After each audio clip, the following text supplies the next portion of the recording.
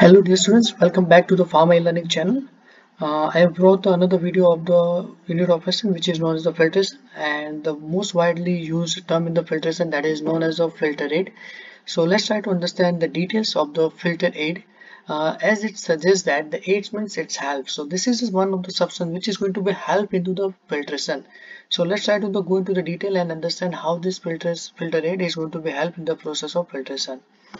Before I start my video, if you need for any of the tutoring or the coaching need of any of the subject or any of the topic related to pharmaceutics and the pharmaceutical technology either at the diploma level or at the BPharm level or the master's level or about that so please please, please contact on this email that is a pharma at the gmail.com or you can contact on this number by the WhatsApp too. So now let's go into the details of the word filter aid. So as the name suggests, it's like a first aid. The same thing is over here. The filter aid means it's help in the preventing the decreased rate of the filtration with the time. Why? Why the rate of filtration decrease with respect to time?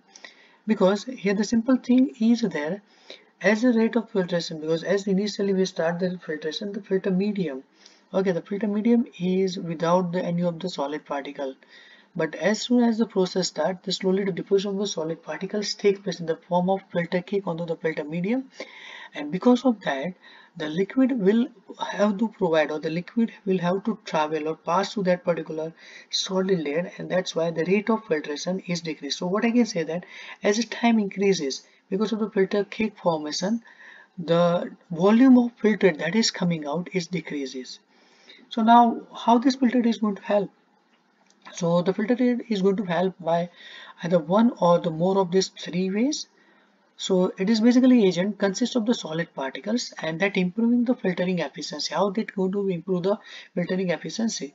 So if we are going to add this filter aid, uh, then during the process of filtration, then it will increase the permeability of the filter cake uh, how it can increase the permeability filter cake? It will try to form a porous and the open cake and through which the channels are present and through which the from the channels the liquid can easily pass through it. So this is the one way. The another mechanism of the filter aid that will prevent the plugging or the blocking of the filter medium. So it will try to prevent the plug or the blocking of the filter medium. And because of that uh, the channels of the filter medium are going to be and through which the liquid can easily pass. The third possible reason of the mechanism will be that it will reduce the resistance to the flow of filtrate. So by uh, above two mechanism by increasing the permeability of filter cake by forming the open and the porous cake and prevent the blocking of the filter medium, uh, it will reduce the resistance to the flow of the filtrate will be there. So basically the filter aid which are commonly used, these are diatomite that is called as a Kieselguhr, perlite, purified wood cellulose and the bentonite. These are the four agents which are widely used uh, as a filter aid during the process of filtration and it will help in the preventing the rate of filtration decrease in the rate of filtration with respect to time. Now every substance cannot be used as a filter aid. What are the characteristics? The characteristics of the filter aid should be chemically inert so it should not going to react with either the solid liquid or even with the filter medium. It should have the low specific gravity uh, so that uh, the low specific gravity means the as you know that specific gravity is a ratio and the specific gravity is related with the term density. Density the ratio of the mass to the volume.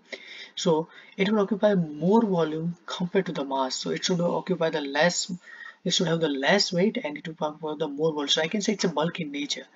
Uh, it should be insoluble in the liquid into which we are carrying out the filtration and it must remain insoluble in the liquid and must remain suspended in the liquid. You know what is the meaning of the word suspended it must be free from the moisture and impurities and it should be able to form the porous cake. And after the cake is formed and from with the cake if you want to remove the filter aid it should be easily recoverable. Now how the filter aid can be used during the process of filtration? There are the two methods for the addition.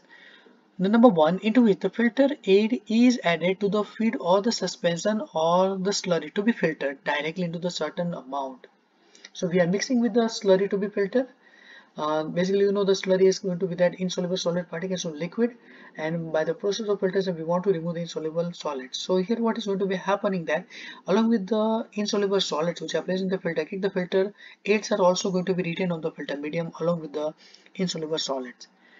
Number two, uh, we are generally making a suspension of this particular filter aid into the liquid which we are liquid which is going to be filtered means the slurry is made up of a particular liquid. We are taking that liquid into which we are adding the filter aid and we are preparing the suspension of that one.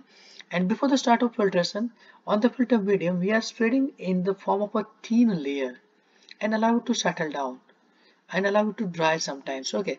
So what is called we are going to uh, coat the filter medium previously. So it is like a pre-coat layer before we start the filtration so now what is going to be happen? Let's try to understand. Okay.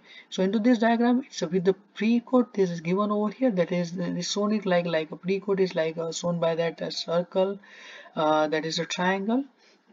And uh, the square these are the particles which are like a pre-coat while here you are not finding any pre-coat below. So this is a slurry which we are going to filter. Okay. And here look at these particles that are the the, the black particles that are insoluble solid so it is going to be retained over here on the top. So we have formed the free roller so these particles are not coming at all into contact with the filter medium and that's what prevented the blocking of this one. While in this case if we are not going to pre-coating then it's going to be coming into contact with the filter medium and they try to uh, block that particular filter medium and sometimes if more force is applied uh, or the more force is applied from the feed then it may also pass to this one.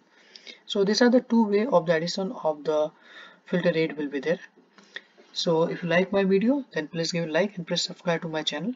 Also subscribe to my channel to uh, for more upcoming videos on the related topics various topics related to the pharmacy. That is pharma e-learning channel. Thank you